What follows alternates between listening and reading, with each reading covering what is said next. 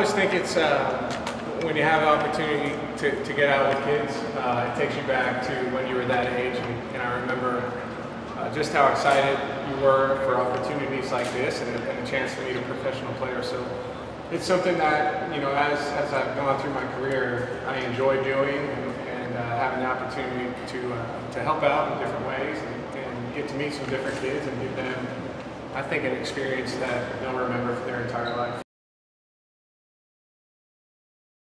Lot of it is just, um, you know, telling them to, to work hard and, and do well in school and uh, to take care of all the things that they need to take care of. But also, I think it's a great forum to open it up to questions and uh, just hear some of the things that they're interested about and try to answer them and, give them a little bit of insight into, uh, you know, some of the things that, that go on day to day uh, in the life of a professional athlete. And so uh, it's, it's always fun to, to do that. It's always fun to hear some of the questions that they ask. Uh, pr- probably the biggest thing I've learned is that it's hard. You know, it, it's it's it's not easy, and uh, you have to you know you have to work at it every day, and you have to try and you know constantly improve and get better.